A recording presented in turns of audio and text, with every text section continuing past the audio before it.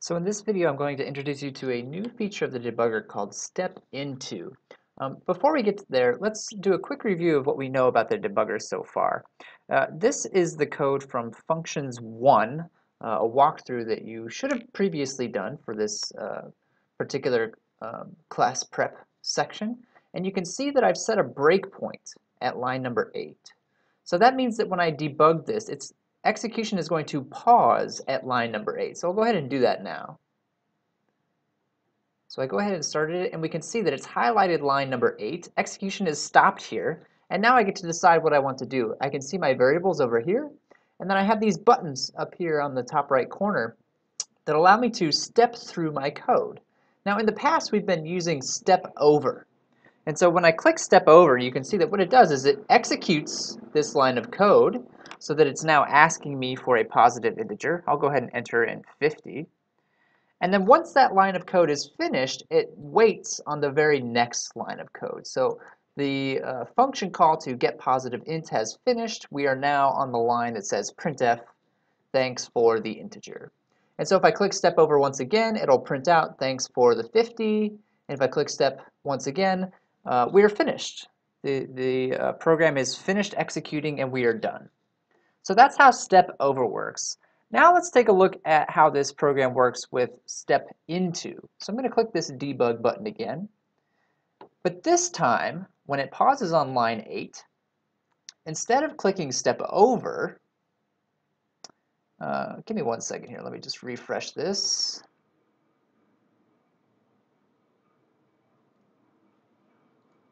This time, when it pauses on line 8, instead of clicking step over, I'm going to click this button right here that says step into. So watch where we go next. Last time we went to this line when I click step over, but when I click step into, it takes me into the function that's being called on this line. So the step into feature is used to go into a function call. It can only really be used when we see a function call on a particular line. In this case, we see a call to get positive int. And so when I use step into, it takes me inside of that function so that we can see how that function is behaving. So we're now inside of this get positive int function, and I can go ahead and use step over now. You'll see that it says, please give me a positive int.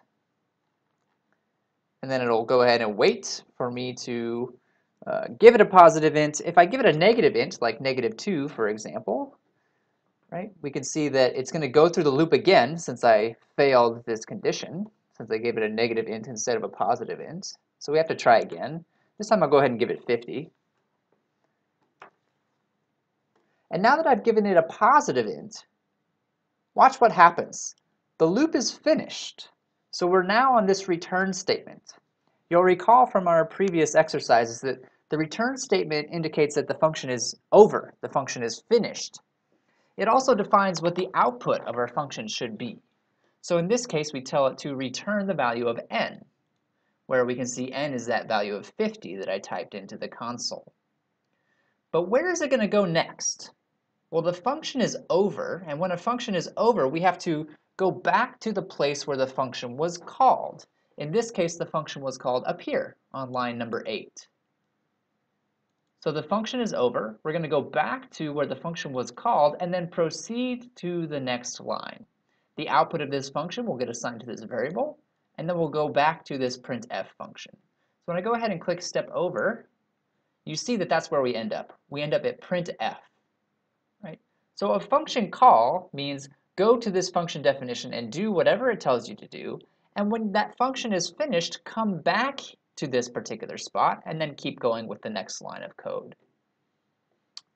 We, saw, we just saw how that worked with the step into function. Now there's one more thing I want to show you before I wrap this up. I'm going to run this one more time. And this time, I'm going to use step into again. You'll notice that, oh, let me try it again. Let me just do a quick refresh here.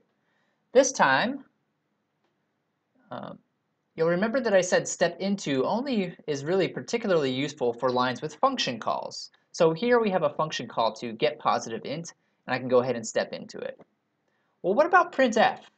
Printf is also a function. Printf is one of the first functions that we learned about. What happens if I try to step into printf? you'll see that if I try to step into printf, that nothing happens. It looks like I just stepped over it. And the reason for that is we did not write printf.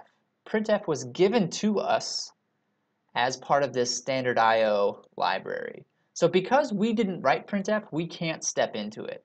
We did write get positive int, so we can step into that function and see how that function behaves. Um, so be aware of that little, um, um, how that works with step into. We can only step into functions that we have created, that we have written ourselves. We can't step into functions that other people have written. Um, so if we go ahead and you know continue, right, we'll see that it executes as normal. Okay, that about wraps it up for this video. Uh, I will see you soon.